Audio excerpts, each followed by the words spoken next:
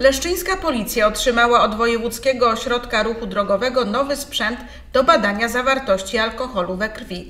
To alkomat z najwyższej półki, mówi komisarz Zbigniew Krawczyk. Sprzęt e, wysokiej e, klasy jest to urządzenie do badania stanu trzeźwości.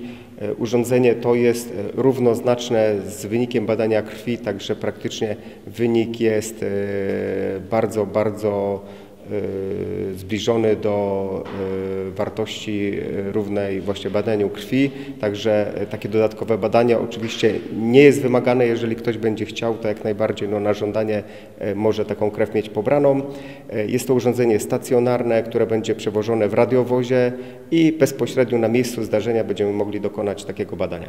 W związku z nadchodzącymi świętami policja zapowiada ogólnopolską akcję i ostrzega przed siadaniem za kierownicą po spożyciu alkoholu. Myślę, że każdy kierowca wie, ale jedną z głównych przyczyn e, to jest właśnie e, alkohol, jazda pod wpływem alkoholu, często nieświadome. e, To jest bardzo często właśnie poranni kierowcy są przez nas zatrzymywani, albo wieczorem jedno, dwa piwa czy, czy coś mocniejszego i niestety efekt później przy porannym badaniu wychodzi, ale też się zdarzają osoby, które również piją w południe, po południu i świadomie wsiadają za kierownicę. Będzie oczywiście akcja na święta policji. Oczywiście e, będą wzmożone działania na święta, tak jak co roku, ale co, również codziennie jesteśmy czujni i e, takie kontrole trzeźwości prowadzimy.